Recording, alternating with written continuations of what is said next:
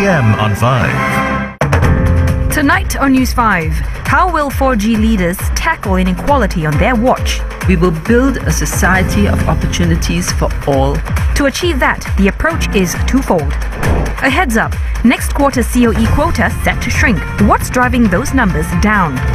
Plus, can you spot the boo boo in the text? Find out what's being done to stamp it out. We'll bring you up to date at 9.